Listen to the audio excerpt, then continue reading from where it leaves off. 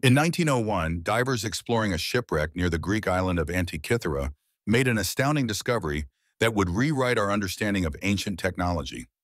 What they found was a mysterious device composed of bronze gears and dials, so advanced it would remain an enigma for decades to come.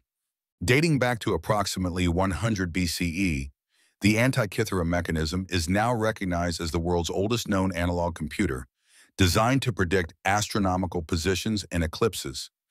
This remarkable device contained at least 30 precisely engineered bronze gears, arranged in a differential system that could track the movements of the sun, moon, and planets with astonishing accuracy.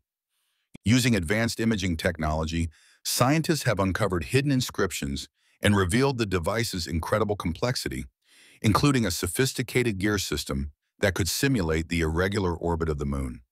The mechanism's sophistication forced historians to completely reevaluate their understanding of ancient Greek technological capabilities, as nothing of comparable complexity would appear again for over 1,400 years.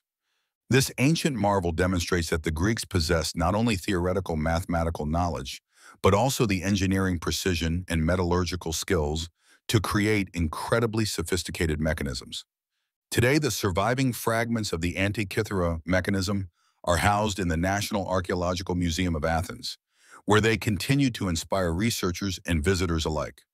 Beyond its technical brilliance, the Antikythera mechanism reveals the deep connection between astronomy, mathematics, and engineering in ancient Greek society, where understanding the heavens was intertwined with philosophy and religion.